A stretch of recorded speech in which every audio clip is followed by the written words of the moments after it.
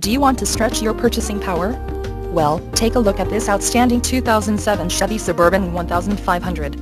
This Suburban 1500 would look so much better with you behind the wheel instead of sitting on our lot.